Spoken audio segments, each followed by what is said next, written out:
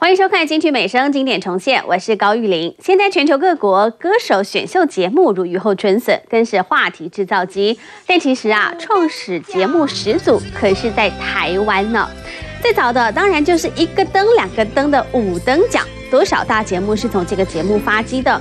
之后，超级星光大道更是造星的翘楚之一。从二零零七年开播，每届冠军都可以得到唱片合约跟百万奖金。在当年呐，是许多有梦想却找不到舞台发挥的青年学子圆梦的机会。但也不是从这个节目出道的星光帮都大红大紫，红的大家都认得，萧敬腾、林宥嘉、杨宗纬。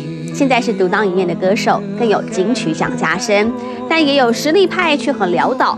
像星光二班的季军叶伟霆，明明很会唱，心韵却很差，靠着当和音在演艺圈求生。来看十年之后那些星光帮的两样情。还有一个人，当年参加星光大道只拿下第十名，现在却已经是影歌两栖的小天后，就是李千娜。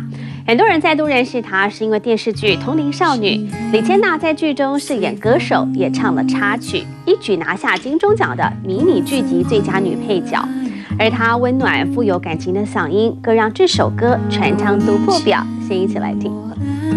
李千娜唱国语歌动人，但她更喜欢唱台语歌。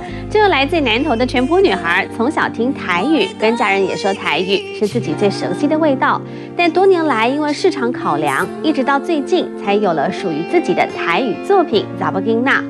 回忆当初参加星光大道，李千娜说啊，她唱国语歌就被淘汰，但唱台语就入选，这才发现原来自己唱台语很有能量。一月份，她举办了新歌演唱会，歌坛新人黄子佼也来助阵，还透露了当初帮李千娜写歌的小插曲哦。但你不要以为李千娜一路走来都很顺利，其实她也过过一段不为人知的辛酸。在出道之前，李千娜曾经在工厂打工，也待过泡沫红茶店、牛排馆，也跑保险，还是一位单亲妈妈。十九岁就结婚生子，离婚之后独自抚养两个孩子。当年靠着参加星光大道顺利签约，在没有大红之前，三年零收入，还要去超商要集齐苹果付。还好他天性蛮乐观的，在接连拿下金马、金钟奖之后，他改名了，把李千娜的“娜”字去掉了女字边，力求新改变，期许自己有一天能摘下金曲奖。前一阵子就吹起了一股十年的挑战风潮，金曲歌王萧敬腾、林宥嘉跟卢广仲这三位啊，其实也都出道超过十年了。巧的是呢，这三个人都是在二零零八年出道的，也在同一年入围了金曲新人奖。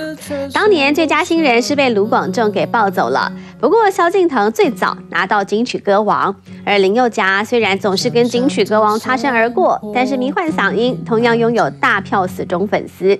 你还记得他们？十年前的模样吗？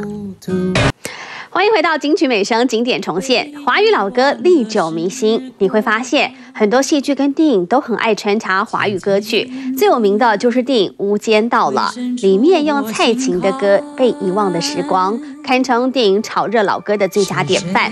这种善用反差跟共鸣的音乐结合，也被其他的电影仿效。最近爆红的电影《疯狂亚洲富豪》就大量使用华语老歌，《人生就是戏》还有《我要飞上青天》，勾起观众无限回忆。或许很多人都觉得歌手应该就是赚很多，其实不少人真的经过很苦的日子，像是张秀清一首《车站》成名的早，但是他投资理财却起步很晚，原因就在于以前赚的都拿去帮家里还债了。而过去大红大紫的龙千玉却是晚年凄凉，虽然事业非常的成功，却面临白发人送黑发人，儿子车祸遇难，女儿也轻生，没有想到平安两个字是如此困难。好的歌曲跟好的歌手需要你我的支持，金曲美声经典重现，感谢你的收看，我们下次再见喽，拜拜。